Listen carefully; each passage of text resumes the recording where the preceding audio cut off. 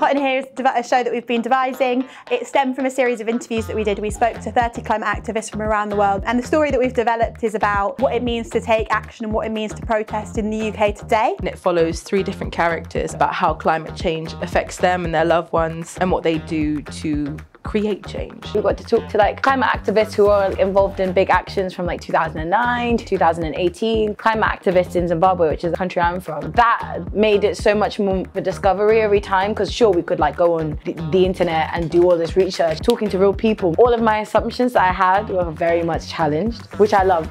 It's been a beautiful devising process. I leave learning day by day. We're meeting the audience in a position where we've learned so much over this devising process. Mm. So you'll see like the characters kind of grow from the point that I feel like I was at the start of this devising process and then I'm taken on a journey. So it's been interesting because it feels really like alive and like we're talking about topics that are literally happening like right now. This show is also hopeful and it's funny and it celebrates the power of collective action. We've been creating an energy generating dance floor. So these got these dance floor tiles where the movement of bodies create energy, which powers some of the lights in the show. It's been really exciting, really, really exciting. Sustainable theatre and practices of sustainable theatre. Searingly relevant, hopefully a blueprint for better practices in theatre. It has been a privilege to be able to do something like this. We have the climate crisis that is happening currently around us. We can see it around us, but we don't even realise that it is happening. I think that there's such a brilliant thing in theatre that you can have the sense of a community all being together, but you can also have an individual experience. So like in a lot of ways, like individual action is collective action and collective action is individual action and hopefully leaves the audience feeling galvanised